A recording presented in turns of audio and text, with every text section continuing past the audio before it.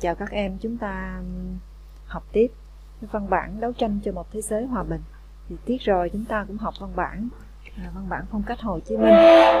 Thì chúng ta học tới cái văn bản nói về cái vấn đề chiến tranh hạt nhân.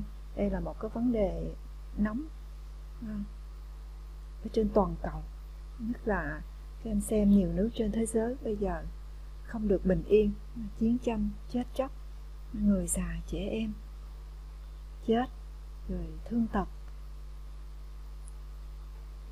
nên biết cái hội nghị thế giới về phòng chống bơm A và bơm H năm 2021 đã chính thức khai mạc ngày 31 tháng 7 ngay trước dịp mà tưởng niệm 76 năm vụ ném bom nguyên tử xuống hai thành phố Hiroshima và Nagasaki của Nhật vào tháng 8 này.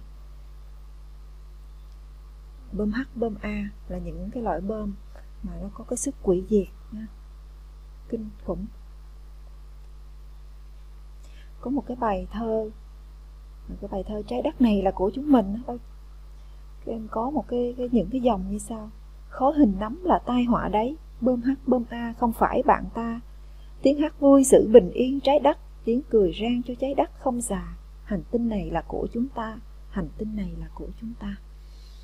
À, thì tác giả Market ông là một trong những người ừ, đóng góp cái tiếng nói của mình cho bảo vệ cái nền cái hòa bình của nhân loại chống chiến tranh, hạt nhân chống chạy đua vũ trang của các nước.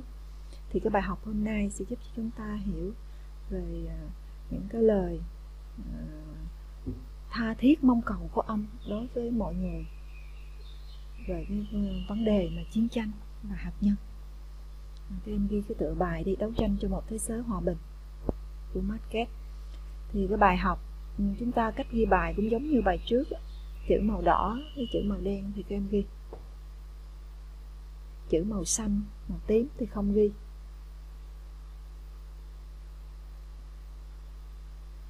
Chúng ta sẽ đi vào cái phần một la mã tìm hiểu chung. Chúng ta đi vào phần một nhỏ tác giả. Em xem đây là chân dung của Gabriel Garcia Marquez Ông sinh năm 1928, từng nhận giải Nobel về văn học năm 1982. Ông là nhà văn Colombia, có nhiều đóng góp cho nền hòa bình nhân loại.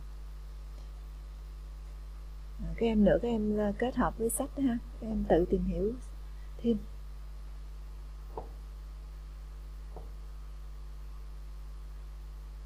Chúng ta sang tìm hiểu về phần tác phẩm. Tác phẩm chúng ta học hôm nay trích trong cái bản tham luận của ông đặt tên là thanh, thanh gươm Damolet. Cái bản tham luận này được đọc tại cuộc họp 6 nước Ấn Độ, Mexico, Thụy Điển, Argentina, Hy Lạp, Tanzania tại Mexico vào tháng 8 năm 1986 ba mươi mấy năm rồi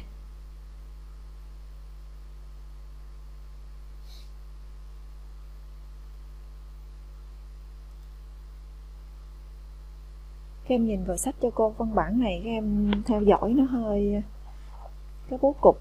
Ha nó cứ hơi đặc biệt so với những văn bản khác mà chúng ta học. À, các em nhìn theo vào văn bản coi.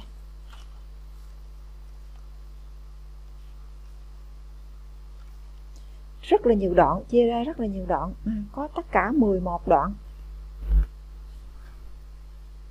Ông trình bày rất là rõ ràng nha. Trong cái đoạn 1 nói lên cái tác hại của vũ khí hạt nhân. Từ cái đoạn 2 đến đoạn 6 đó là chi phí tốn kém cho vũ trang vũ khí hạt nhân. Đoạn 7 đến đoạn 9 là khẳng định sự phi lý của chạy đua vũ trang hạt nhân. Đoạn 10, 11 đó là kêu gọi đấu tranh chống chiến tranh hạt nhân. 11 đoạn này chúng ta có thể chia ra làm hai nội dung lớn. Đó là nguy cơ chiến tranh hạt nhân đe dọa toàn nhân loại và sự phi lý của cuộc chạy đua vũ trang thứ hai là cái lời kêu gọi đấu tranh vì thế giới hòa bình không có chiến tranh. Một bản tham luận được trình bày rất là rõ ràng, mạch lạc và xúc tích.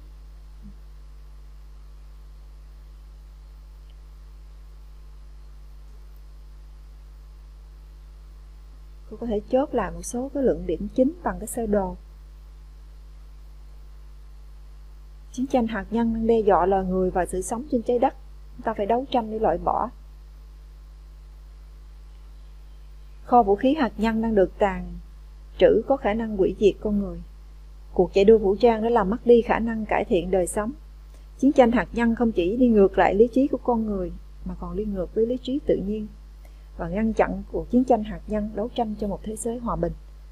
Cô và các em sẽ đi vào tìm hiểu những cái luận điểm này. Chúng ta sang cái phần hai la mã đọc hiểu văn bản.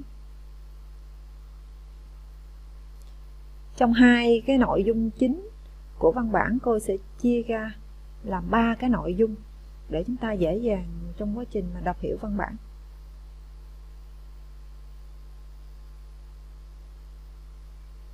Nguy cơ à, thứ hai là cái phi lý. À, nguy cơ chiến tranh hạt nhân đe dọa sự sống trên trái đất. Thứ hai chúng ta sẽ tìm hiểu sự phi lý của chiến tranh hạt nhân. Và thứ ba đó là cái lời kêu gọi thì có phần đọc hiểu văn bản. Chúng ta sẽ tìm hiểu ba nội dung như vậy chúng ta đi vào cái phần một nhỏ. Nguy cơ chiến tranh hạt nhân đe dọa sự sống trên trái đất.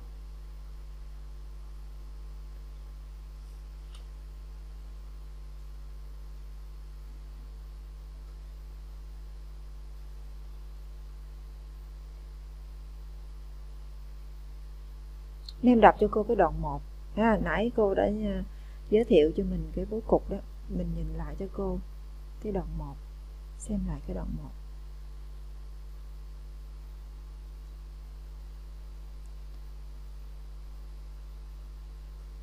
Chúng ta đang ở đâu? Hôm nay ngày 8 tháng 8 năm 1986 Hơn 50.000 đầu đạn hạt nhân đã được bố trí trên khắp hành tinh. Đó là năm 86 bây giờ năm 2021 thì còn nhiều hơn nữa. Nói nôm na ra, điều đó có nghĩa là mỗi người, không trừ trẻ con, đang ngồi trên một thùng 4 tấn thuốc nổ. Tất cả chỗ đó nổ tung lên sẽ làm biến hết thảy. Không phải là một lần, mà là 12 lần. Mỗi dấu vết của sự sống trên trái đất nguy cơ ghê gớm đó đang đè nặng lên chúng ta, như thanh gươm Damolet về lý thuyết, có thể tiêu diệt tất cả các hành tinh đang xoay quanh mặt trời, cộng thêm 4 hành tinh nữa, và phá hủy thế thăng bằng của hệ mặt trời. Không có một ngành khoa học hay công nghiệp nào có được những tiến bộ nhanh ghê gớm như ngành công nghiệp hạt nhân, kể từ khi nó ra đời cách đây 41 năm. Không có một đứa con nào của tài năng con người lại có một tầm quan trọng quyết định đến như vậy đối với vận mệnh thế giới. Ở đây chúng ta thấy tác giả đã đưa ra cái ngày cụ thể, rồi cái số liệu cụ thể và cách so sánh à, cái nguy cơ chiến tranh hạt nhân như thanh gươm Damolet bây giờ em nhìn cho cô cái chút thích cho chút thích một thanh gươm Damolet đây là một cái điện tích lấy từ thần thoại Hy Lạp. Damolet là treo cái thanh gươm ngay ở trên đầu bằng cái sợi lông đuôi ngựa điện tích này là chỉ cái mối nguy cơ đe dọa trực tiếp sự sống của con người như vậy thì để trình bày về nguy cơ chiến tranh hạt nhân, đe dọa con người, thì ông đã đưa ra những lý lẽ và dẫn chứng rất là tiêu biểu và thuyết phục. Lý lẽ ví dụ như là chiến tranh hạt nhân sẽ tàn phá và hủy diệt loài người. Nó quyết định cái sự sống còn của thế giới. Ông đưa ra cái dẫn chứng. Ông đưa ra cái cái cái thời gian cụ thể để đưa ra những cái số liệu ví dụ 50 đầu đạn 50.000 đầu đạn hạt nhân 4 tấn thuốc nổ. Và cách so sánh là ừ, như thanh gương Ramolet. Ừ, dịch hạt hạt nhân.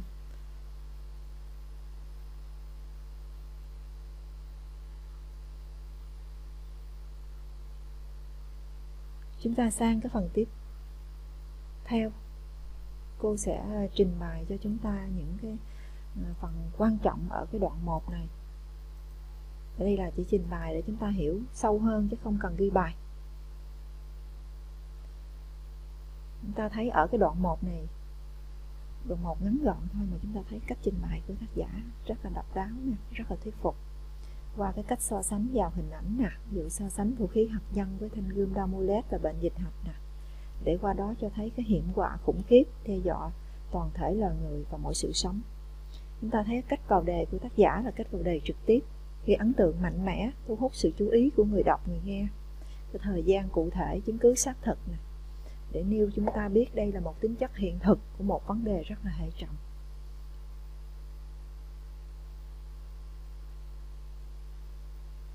Hòa bình rất là quý giá. À, chạy đua vũ trang à, chuẩn bị vũ khí hạt nhân. Thì chỉ có là không chỉ mà mà, mà hủy diệt chính bản thân mình. Hủy diệt cả trên toàn cái thế giới này.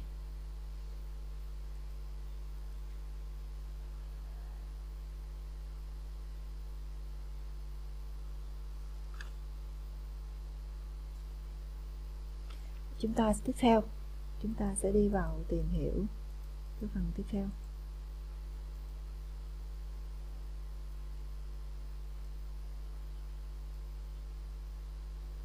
Nem Gyoko phần hai nhỏ. Sự phi lý của cuộc chạy đua vũ trang.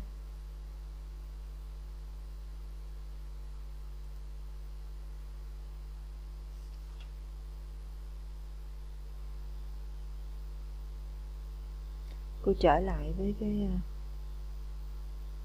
cuối cái cục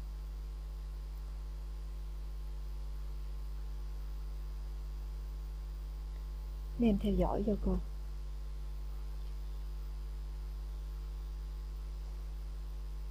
Từ cái đoạn 2 cho đến đoạn 6 trước. À, chúng ta sẽ tìm hiểu sự phi lý. Sự và chúng ta sẽ tìm hiểu cái uh, sự phi lý và tốn kém từ cái từ đoạn 7 với đoạn 9 à, đoạn 2 đoạn 6 thì nói về sự tốn kém cho vũ trang hạt nhân. Về đoạn 7 với đoạn 9 là khẳng định cái sự phi lý của chạy đua vũ trang hạt nhân. Bây giờ chúng ta đi về cái đoạn 2 đến đoạn 6 các em theo dõi trong sách nha.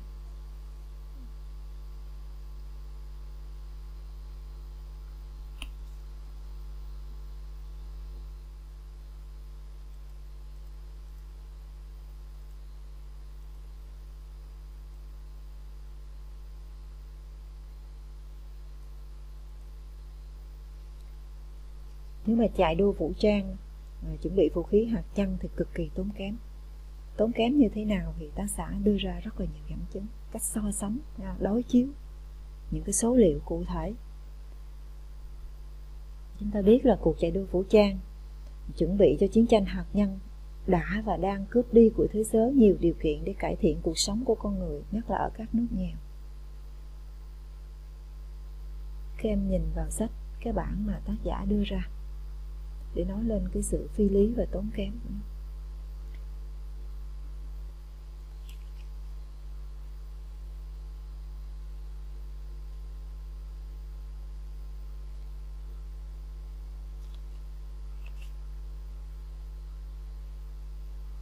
Năm 1981, UNICEF đã định ra một chương trình để giải quyết những vấn đề cấp bách cho 500 triệu trẻ em nghèo khổ nhất trên thế giới.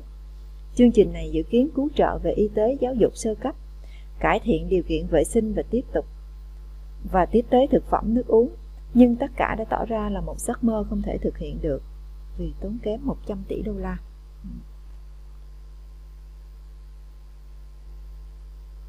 Tuy nhiên số tiền, tiền này cũng chỉ gần bằng những chi phí bỏ ra cho 100 máy bay ném bom chiến lược B.1B của Mỹ và cho dưới 7.000 tên lửa đầu, tên lửa để vượt Đại Châu.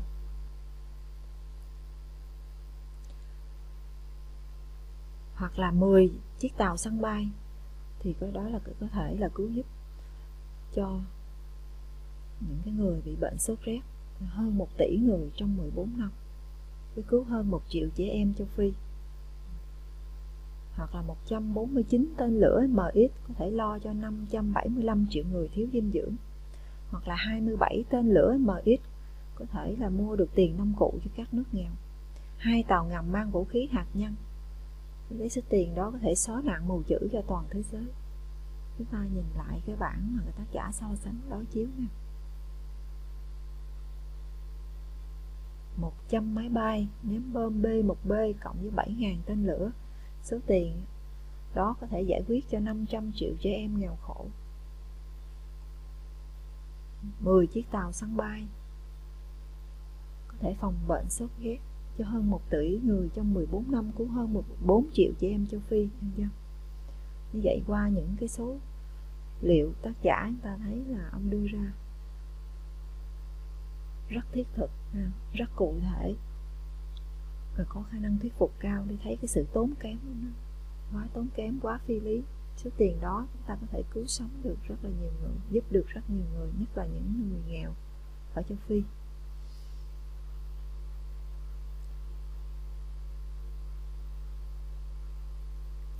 Em xem cho cô. Những cái hình ảnh mà nói lên cái sự hủy diệt của chiến tranh hạt nhân. Đây là bom nguyên tử của Mỹ ném xuống Nhật Bản năm 1945 đây là những cái hình ảnh tan thương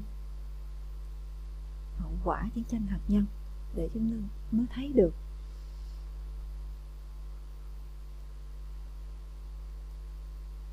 Cái sự hủy diệt của chiến tranh hạt nhân với loài người. Chúng ta mà có ý thức để mà đấu tranh, chống chiến tranh hạt nhân và chạy đua vũ trang như vậy thì cái sự phi lý của cuộc chạy đua vũ trang nó không chỉ cực kỳ tốn kém, mà chúng ta thấy nó phi lý vô cùng, đi ngược lại với lý trí của loài người và tự nhiên. Để xem nó phi lý như thế nào thì các em theo dõi tiếp các đoạn tiếp theo.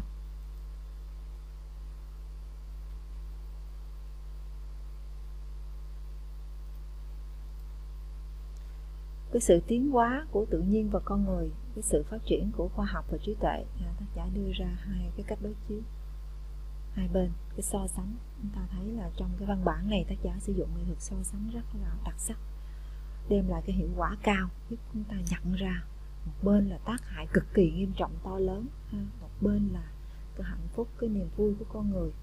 À, không có được nếu mà cứ chạy theo cái chiến tranh hạt nhân hoặc là những thành tựu con người đã tạo ra nhưng chỉ cần có một cái bấm nút thôi thì tất cả sẽ trở về con số 0 em xem, sự tiến hóa của tự nhiên và con người. 380 triệu năm con bướm mới bay được. À, 180 triệu năm bông hồng mới nở chỉ để làm đẹp. Trải qua bốn kỷ địa chất con người mới hát được, Hay hơn chim và mới chết vì yêu còn bên sự phát triển của con người khoa học của con người, trí tuệ con người nữa nha. Ngày nay khoa học, trí tuệ chỉ cần bấm nút một cái là cả quá trình tiến hóa để trở về với điểm xuất phát của nó. Nếu sự tiến hóa của tự nhiên và con người là một quá trình lâu dài, thì sự phát triển của khoa học và trí tuệ là một thời gian ngắn. Bấm nút một cái là hủy diệt toàn bộ tất cả và triệu triệu năm đã hình thành. Và cái phần quan trọng của bài là phần cuối cùng, cái lời kêu gọi đấu tranh vì thế giới hòa bình không có chiến tranh. Mấy em xem cho cô ở hai cái đoạn cuối. Chúng ta đến đây để cố gắng chống lại việc đó. Đem tiếng nói của chúng ta tham gia vào bản đồng ca của những người Đòi hỏi một thế giới không có vũ khí Và một cuộc sống hòa bình công bằng. Nhưng dù cho tai họa có xảy ra Thì sự có mặt của chúng ta ở đây cũng không phải là vô ích. Tôi rất khiêm tốn nhưng cũng rất kiên quyết đề nghị mở ra một nhà băng lưu trữ trí nhớ có thể tồn tại được sau thảm họa hạt nhân, để cho nhân loại tương lai biết rằng sự sống đã từng tồn tại ở đây, bị chi phối bởi đau khổ và bất công nhưng cũng đã từng biết đến tình yêu và biết hình dung ra hạnh phúc, để cho nhân loại tương lai hiểu điều đó và làm sao cho ở mọi thời đại người ta đều biết đến tên những cái thủ phạm để gây ra những lo sợ đau khổ cho chúng ta đã xả điếc làm ngơ trước những lời khẩn cầu hòa bình, những lời kêu gọi làm cho cuộc sống tốt đẹp hơn, để mọi người biết rằng bằng những phát minh giả man nào, nhân danh những lợi ích ti tiện nào, cuộc sống đó đã bị xóa sổ khỏi vũ trụ này. Mà chúng ta tham gia vào các tiếng nói vào đi đấu tranh, chống chiến tranh, bảo vệ hòa bình, chạy đua vũ trang, vũ khí hạt nhân, à, phải lên án để mà bảo vệ hòa bình trên cái thế giới này. À, ông đưa ra chúng ta lập một cái nhà băng lưu trữ trí nhớ. Một lời kêu gọi để thức tỉnh mọi người.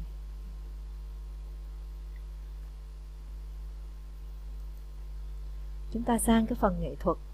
Thì trong quá trình nãy giờ cô và các em theo dõi thì chúng ta thấy cách cách lập luận của tác giả rất là chặt chẽ đây là một cái văn bản nghị luận mang tính chất chính luận bàn một vấn đề thời sự. Nhức nhối à, nóng hổi trong cái cuộc sống. Chúng ta thấy những cái chứng cứ đưa ra rất là cụ thể và xác thực. Những cái so sánh sắc sảo giàu sức thuyết phục. Thì đây là những cái nghệ thuật tiêu biểu của bài. Lập luận chặt chẽ, chứng cứ thì cụ thể, xác thực. So sánh thì sắc sảo giàu sức thuyết phục.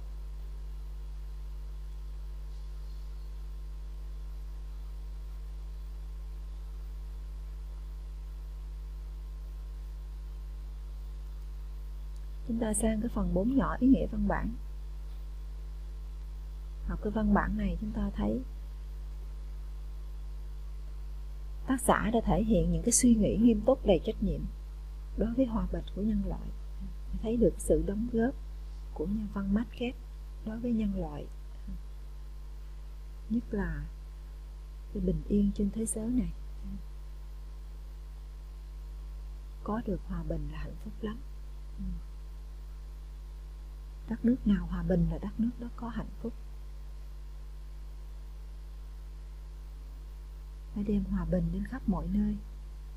Thì đó là cái lời à, một cái suy nghĩ một cái lời nhắn gửi à, của tác giả đối với nhất là những cái nhà lãnh đạo nhà cầm quyền của những nước lớn à, những nước mà thường hay gây hấn chiến tranh. Thì à, đọc cái văn bản của Marquez nhìn nhận lại có một cái ý thức, suy nghĩ gì đó. Đối với hòa bình của nhân loại, chúng ta thấy cái đóng góp của ông rất là lớn. Cất giọng dạc cất cao tiếng nói. Đấu tranh, chống chiến tranh hạt nhân. Chạy đua vũ trang để bảo vệ màu xanh trên trái đất. Chúng ta sang mùng ba la mã tổng kết, nên xem cái ghi nhớ trang 21 chốt lại, có hai cái nội dung quan trọng nguy cơ chiến tranh hạt nhân đang đe dọa toàn thể loài người và sự sống trên trái đất cái cuộc chạy đua vũ trang vô cùng tốn kém đã cướp đi của thế giới nhiều điều kiện để phát triển để loại trừ nạn đói, nạn thất học và khắc phục nhiều bệnh tật cho hàng trăm triệu con người.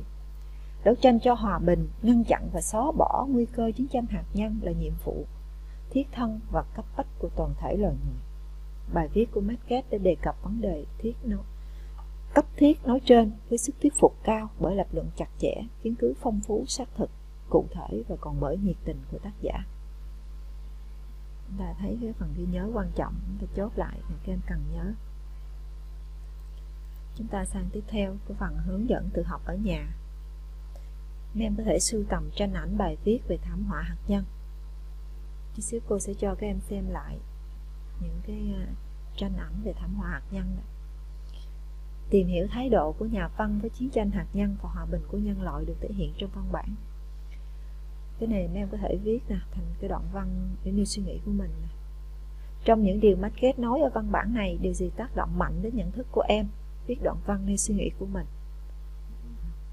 Tập viết văn nghị luận nha các em. Nhà viết cái đoạn này khoảng à, giỏi thì viết khoảng 15 dòng. Bạn nào mà viết mà chưa giỏi lắm thì mình viết khoảng 10 dòng nhưng mà tập viết ha, tập viết qua nghị luận từ từ. Những vấn đề trong xã hội à, trong cuộc sống rồi cái tư tưởng đạo lý rồi đến chúng ta nghị luận những tác phẩm văn học. Văn lớp 9 là quan trọng là cái phần nghị luận ha. cảm nhận những suy nghĩ riêng của bản thân các em. À, đây là số điện thoại của những cái cô giáo à, dạy văn phụ trách lớp của mình. Lớp của mình ai dạy thì các em ghi số điện thoại của người đó thôi để có gì à, mình sẽ điện thoại, mình hỏi. Có thể hỏi ừ, trực tiếp điện thoại hoặc mình có kết bạn facebook, zalo gì đó, em có thể hỏi được. Nè, các em ghi cái số điện thoại của giáo viên mình dạy thôi nha.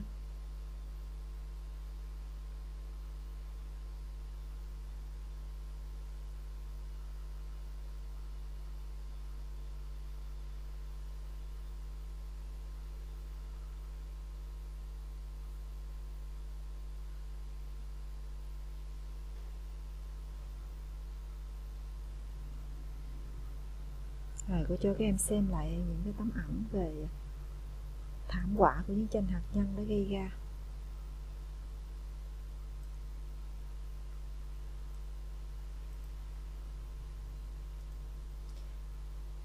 Em thấy mà khói hình nấm là độc hại vô cùng các em. Sang bằng hết trơn bằng phẳng như ruộng luôn.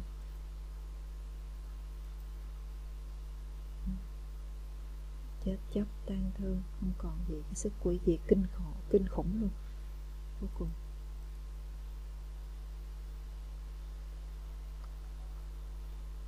Hàng trăm nghìn người đã chết. Khi mà Mỹ ném hai cái quả bom nguyên tử xuống Nhật Bản vào năm 1945 nạn nhân ở hai thành phố Hiroshima và Nagasaki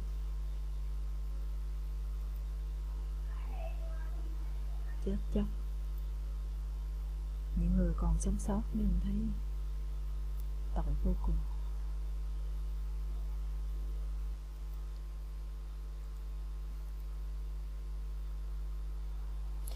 Sự phi lý của cuộc chạy đua vũ trang thì nó có hai nội dung cực kỳ tốn kém và phi lý. Thì đây cô cho ghi ghép là ngắn, em chỉ ghi là tốn kém và phi lý. Còn hai cái bảng so sánh đối chiếu thì chúng ta đọc trong sách chúng ta nhận ra thôi. À, đây là hình ảnh à, mà chạy đua vũ trang để chuẩn bị cho chiến tranh. Là máy bay B1B nè 1,2 tỷ đô la. Giờ cái giá cả. Này máy bay B2A 2,4 tỷ.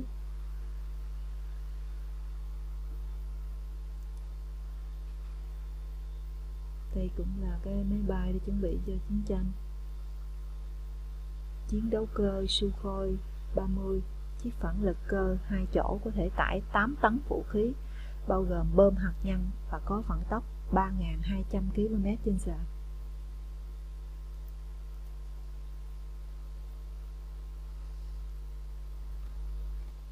Tạo nên tàu chiến à, có sân bay, trang bị đủ hết